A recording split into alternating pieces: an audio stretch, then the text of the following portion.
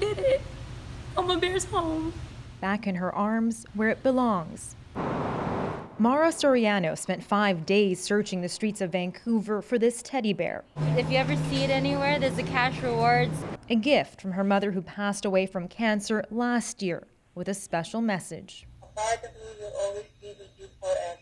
It's just the last thing I have of hers. It has her voice on it and it says, I love you, I'm proud of you, and I'll always be with you. And when you miss someone that much, sometimes you need to hear that. But on Friday, while she was busy moving, someone stole her backpack with her iPad and the bear in it. In just days, the story of the stolen bear made it around the world, appearing on ABC's Live with Kelly and Ryan. The thing that was special about this stuffed bear Vancouver born movie star Ryan Reynolds even offering a $5,000 reward for the bear's safe return.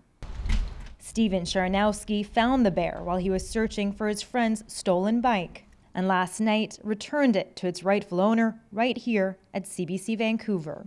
She was like just ecstatic waiting. We couldn't even get it uh, fully out of the bag before she snagged it up and hit the ground crying. Sharanowski has been living in this tent city in Vancouver's Strathcona Park for about a month now.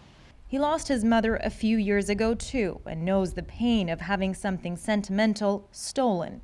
I know how much it means to get stuff back when, when you lose it, right? Especially something that's so touching.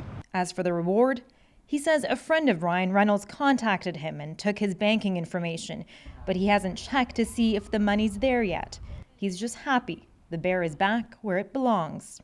Guys, we found her. We did it. it's the reunion we all needed. Tina Lovgreen, CBC News, Vancouver.